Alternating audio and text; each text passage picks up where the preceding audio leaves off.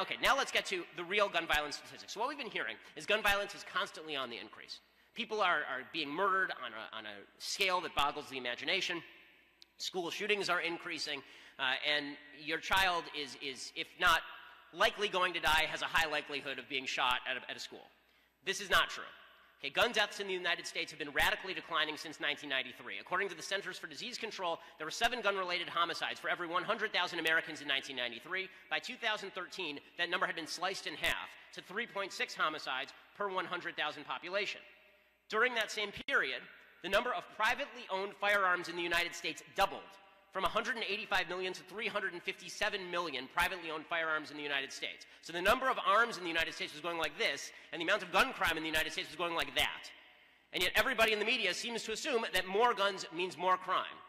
You're going to have to explain then why more guns does not mean more crime. Okay, where do all of these... Uh, also, quick note, they say there are 33,000 gun-related deaths in the United States. They neglect to mention that two-thirds of these are suicide. About 8,000, 9,000 gun related homicides in the United States. The vast majority of gun related deaths are people who are killing themselves. And it is very easy to substitute another method for killing yourself. Where do gun involved deaths take place? So the idea from the left is that states that have lax gun laws have higher rates of gun crime. This is not true. Gun involved deaths take place in mostly America's major cities. So all those hicks from the sticks, you know, the people who actually own all the guns, those aren't the, those aren't the people who are killing each other. Okay, this is all happening in cities, in major American cities. Virtually all of these major American cities are governed by one party, and I will let you guess which party that is.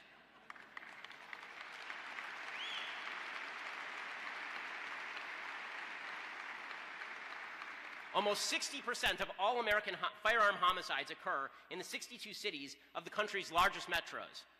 In order of gun, of gun homicide, gun related death New Orleans, Detroit, Las Vegas, Miami, Baltimore, St. Louis, Richmond, Memphis, Cleveland, and Philadelphia. That is nine Democrat mayors and one Republican mayor, the only Republican being in Miami.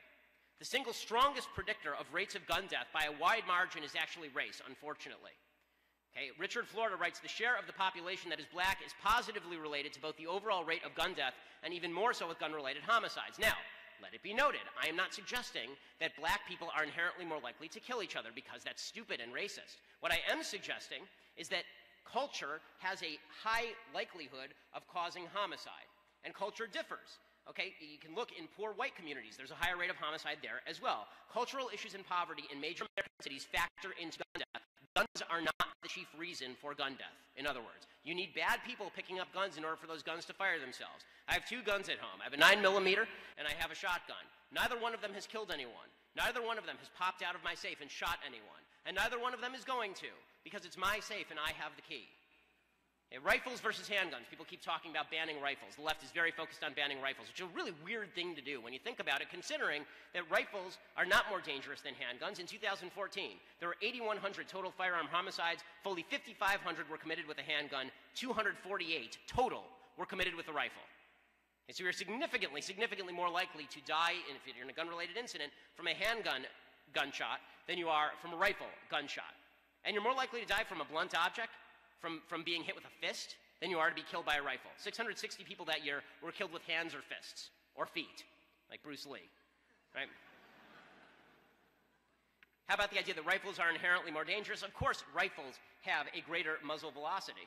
Of course, that's true. That's what rifles are made for, but that is not what is predominantly used in crime.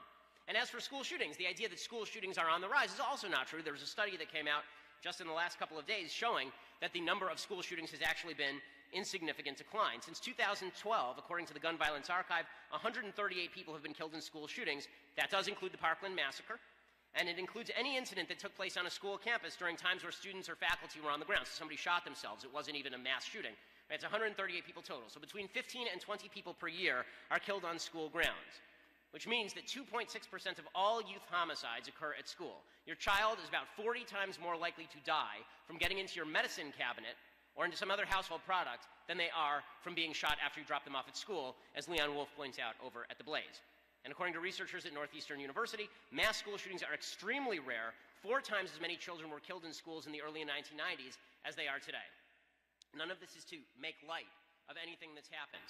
None of this is to suggest that, not, that every school shooting is not a tragedy, but it is to suggest that the lie that is being promulgated out there that there's a school shooting every day in America. You heard this. There were 18 school shootings, 18 mass shootings uh, in the first month of, of, the new year. It's just not true. It's just a lie. It's made up. Everytown for gun violence, for, for gun safety, uh, puts this stuff out, and it's not true. It's statistically false.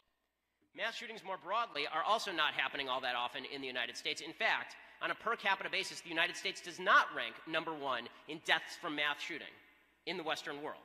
Okay, actually, the United States ranks 11th. From 2009 to 2015, here are countries that ranked above the United States in mass shooting deaths rates per million Norway, Serbia, and France. Mass shooting frequency, we rank number 12, after Austria, France, Switzerland, and Norway. Uh, Switzerland and Norway. And here's the thing about using mass shootings as a proxy for this discussion anyway. Mass shootings are a really bad way to go about having a gun control discussion because they are not representative of gun violence in totality.